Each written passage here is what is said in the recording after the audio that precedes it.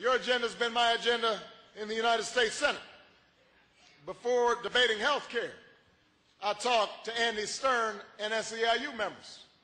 Before immigration debates took place in Washington, I talked with Eliseo Medina and SEIU members.